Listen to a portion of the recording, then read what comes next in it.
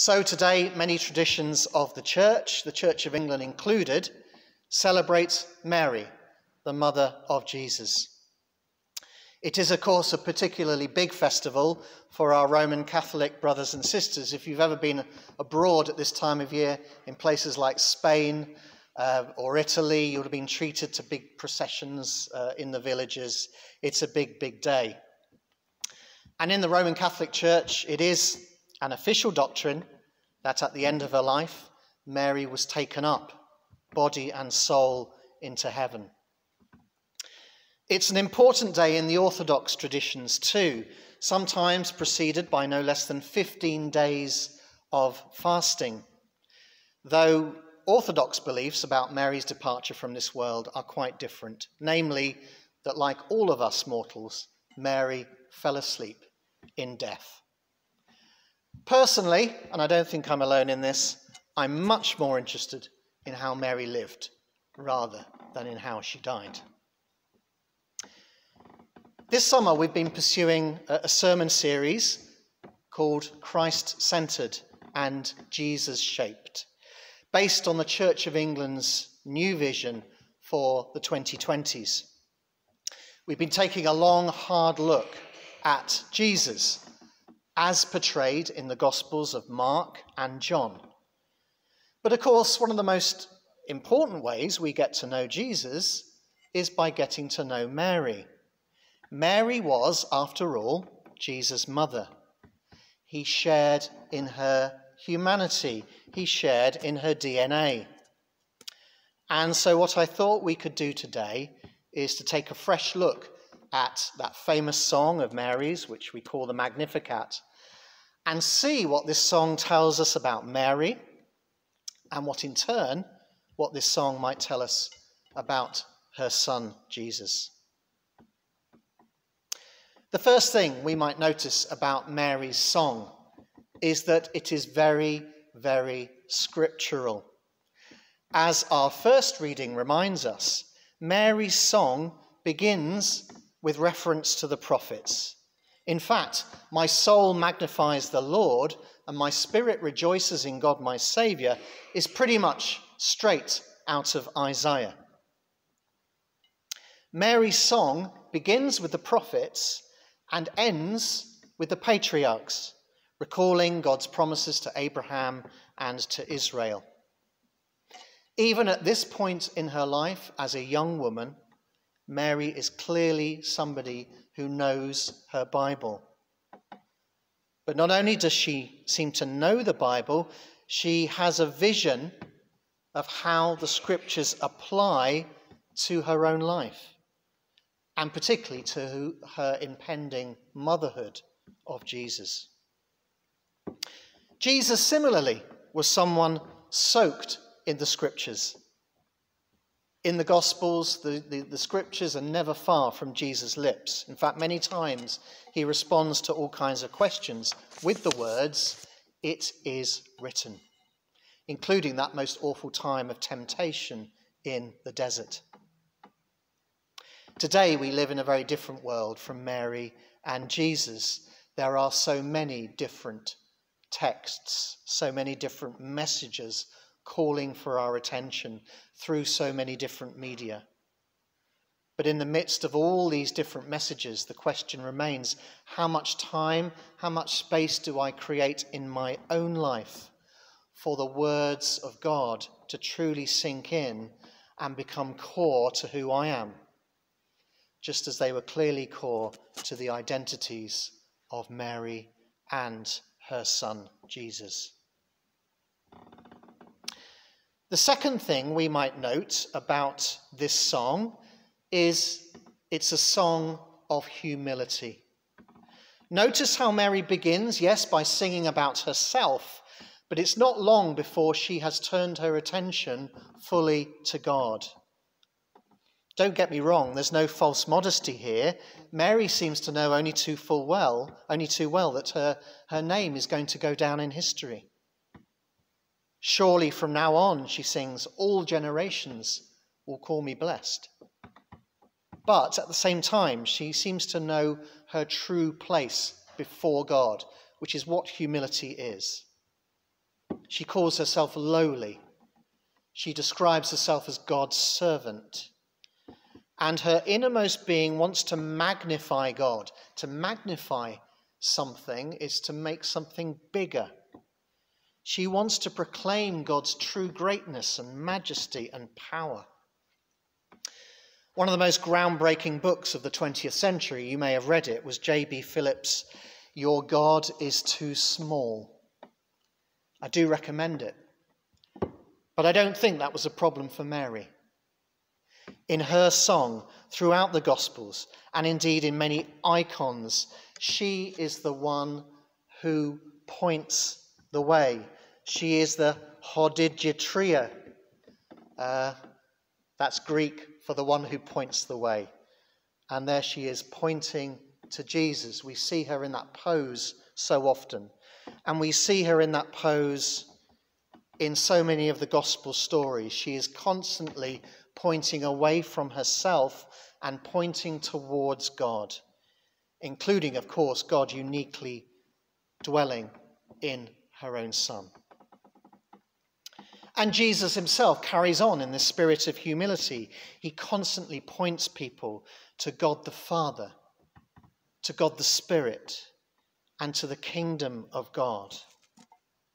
So, how about you and how about me? How big is our God? To what extent am I or is God center of my universe? To what extent do I point away from myself to God and all of his greatness?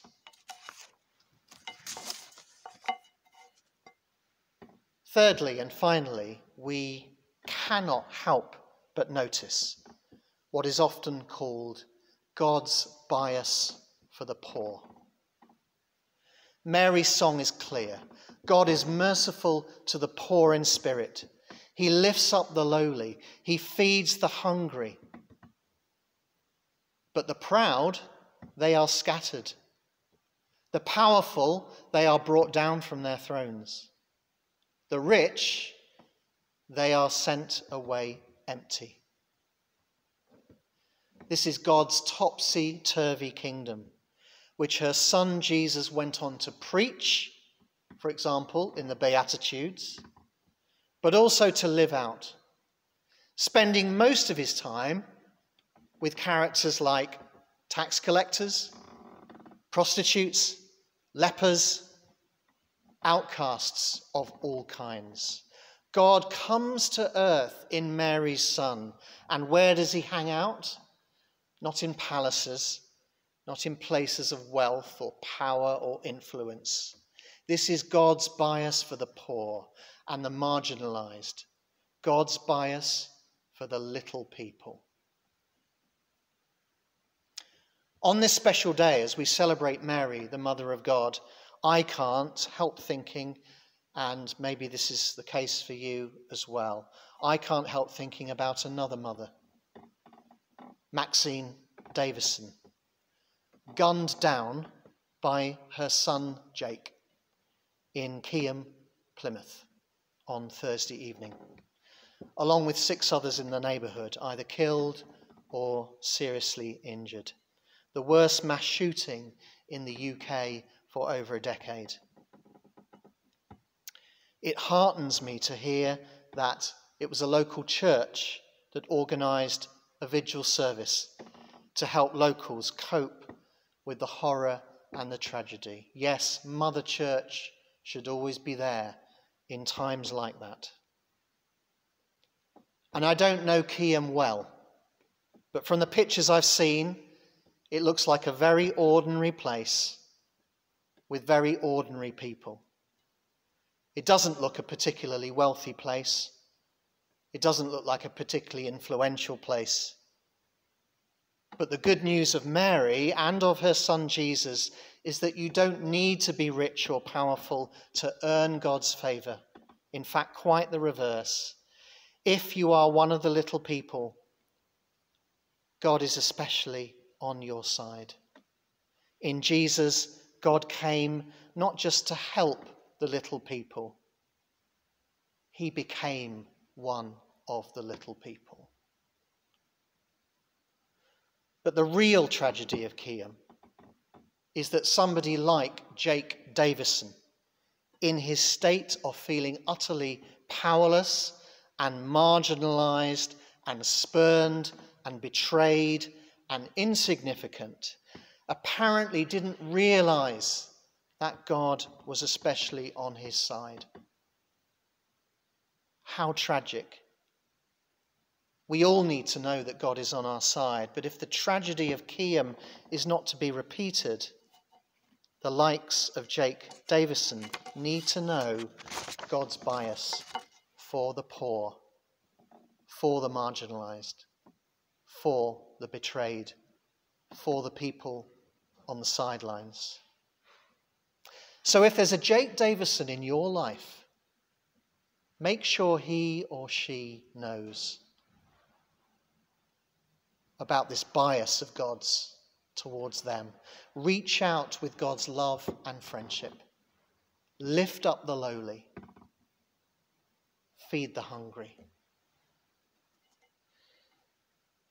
There's a joke by Shane Claiborne, the uh, Christian activist against poverty, that goes something like this um, A homeless guy trucks up at a very well heeled uh, suburban church He's pretty disheveled, he's pretty dirty, he brings all of his baggage with him, and he plonks himself in the front pew of the church.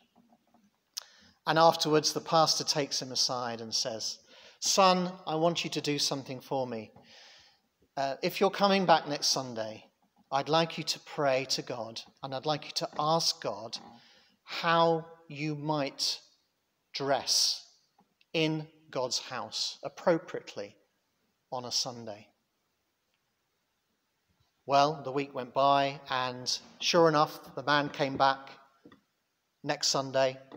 He came back looking exactly the same, as dirty and disheveled as ever, still carrying all of his baggage with him.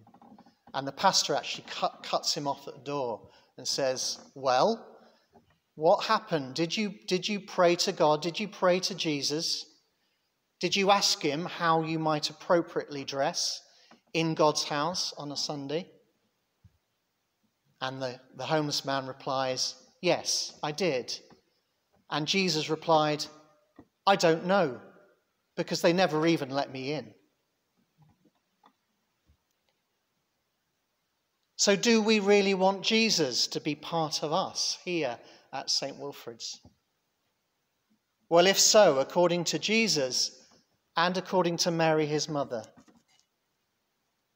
Let's do three things in particular. Let's make God's word an integral part of our lives. Secondly, let's magnify God and minimize our own egos. Thirdly, let's live out God's topsy turvy revolution, whereby the last shall be first and the first shall be last. Amen.